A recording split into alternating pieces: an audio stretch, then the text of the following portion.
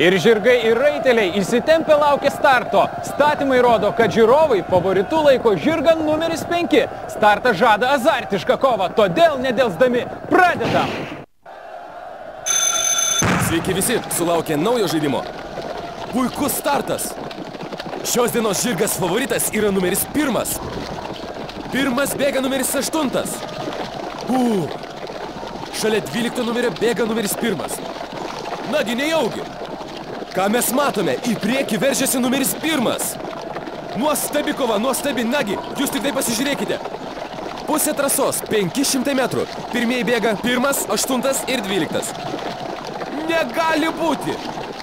Į priekį smarkiai įsiveržia numeris 12 aplenkęs numerius 1 ir 8. Šaunuoliai, pirmin.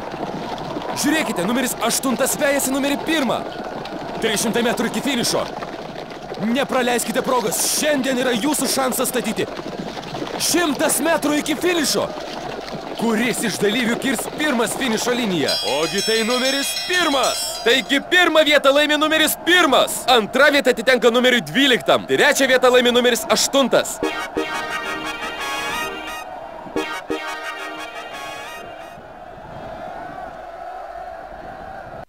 Na kokios azartiškos lenktynės, net sunku tuo patikėti. Finišo tiesioje pirmasis žirgų penketukas atidavė paskutinės jėgas. Net ir jei nepasisekė laimėti, verta buvo išgyventi rungtynių karštį. Rydieną žada ne mažiau įdomią kovą, tad prisijung.